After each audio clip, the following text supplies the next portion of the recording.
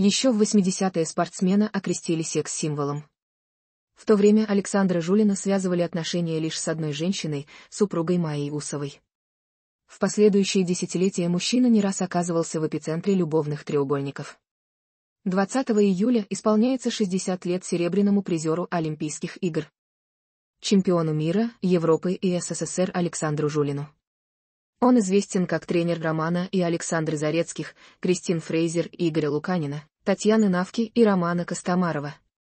И, конечно, окружающие наслышанные о любовных победах спортсмена. Первой женщиной и супругой для Жулина стала партнерша Майя Усова. Спустя годы фигуристка призналась, что была несчастна с мужем, оказавшимся предателем и тираном. Как Александр Вячеславович обидел Усову и с кем еще пытался создать семью. Никогда не забуду. Как Саша оскорбил мою маму, ваша дочь навсегда останется одна, так же, как и вы. Он не учел того момента, что мама потеряла папу по трагической случайности, его молнией убила, когда они вдвоем стояли под деревом, делилась Усова. Но только ли внутренняя борьба разрушила семью? Стоит отметить, что главными соперниками спортсменов считались Оксана Грищук и Евгений Платов. Как ни странно, именно на конкурентку в итоге положил глаз Жулин. Мужчина говорил Грищук, что остается с женой только ради имиджа романтической пары. Оксана всерьез полагала, что у обоих супругов были любовники. Верила она, и что Александр разведется после окончания карьеры. Триумфальным для Усова и Жулина стал 1993, когда они выиграли чемпионаты мира и Европы, впереди маячила Олимпиада в Лилихаммере. Вероятно. Именно поэтому тогда фигурист заявил Грищук, что их свадьба возможна, только если Оксана повесит коньки на гвоздь и забудет о соревнованиях. Каким-то чудом Платов уговорил партнершу не слушать коварного любовника и продолжать тренировки. Впрочем, Александр видел ситуацию в ином свете. Все быстро закончилось, потому что Грищук позволяла себе совершать поступки, которым, на мой взгляд, нет и не может быть оправдания, подчеркивал Жулин. Она не брезговала никакими средствами, чтобы получить то, к чему стремилась. Это, конечно, недопустимо. Но своего она добилась, выиграла Олимпиаду. Оксане Грищук рассказывали, что до нее у Жулина случилась интрижка с Екатериной Гордеевой, однако никаких доказательств связи не было. Итак, Оксана Грищук и Евгений Платов взяли золото, а своим соперникам оставили серебро. Жулин мигом переменился, сказал, что развод откладывается, и ушел с женой в профессиональное катание. Усова в дальнейшем говорила, что простила мужу роман на стороне, хотя и не следовало. До 1998 мая пыталась склеить разбитую чашку любви, хотя последние годы уже жила отдельно от супруга.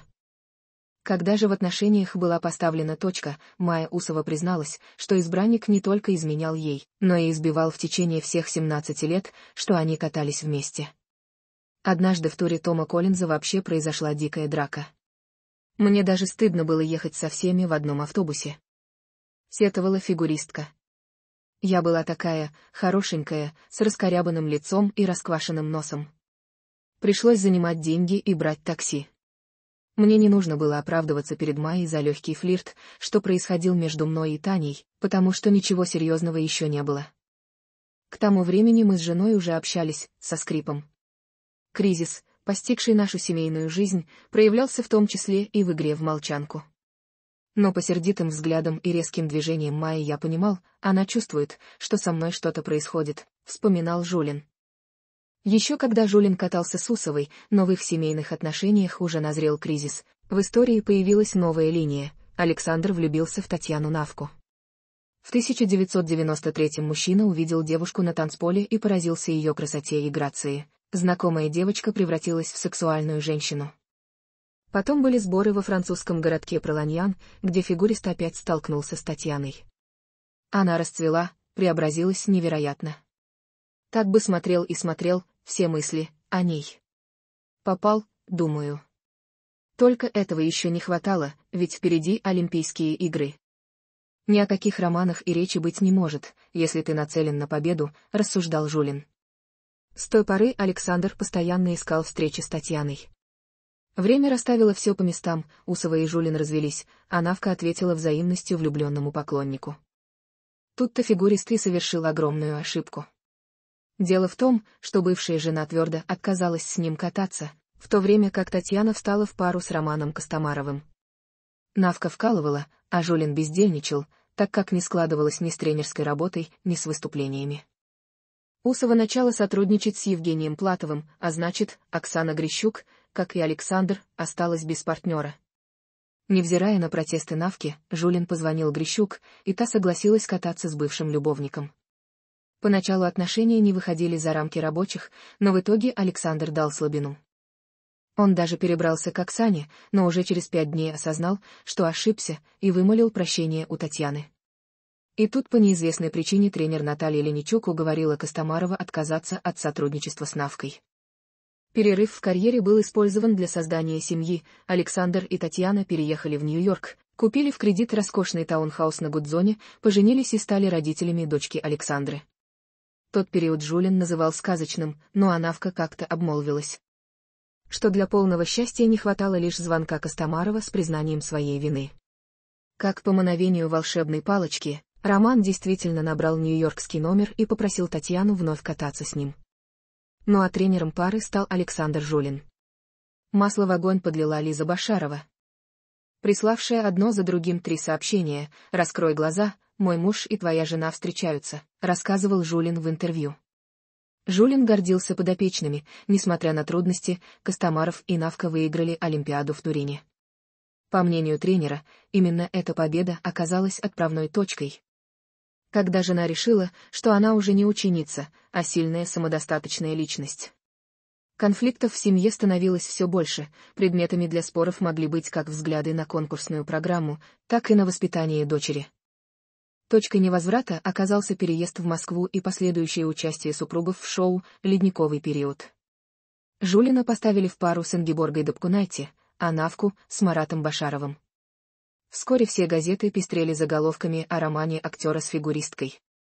И Александру оставалось лишь гадать, пиар-компания это или правда. Ревность, бытовые споры, тот факт, что отныне Навка зарабатывала в разы больше мужа, причины для разлада накапливались. Однако последний гвоздь в крышку гроба вбил именно Жулин. Когда ответил на чувства своей новой ученицы Наташи Михайловой. Я стал встречаться с Наташей. И чувствовал себя прекрасно, любил, как ни кощунственно звучит, сразу двоих, жену и ученицу. Наташа дала мне то, что Таня давать не хотела или уже не могла, страсть, восхищение, заботу. Неподдельный интерес к моей жизни.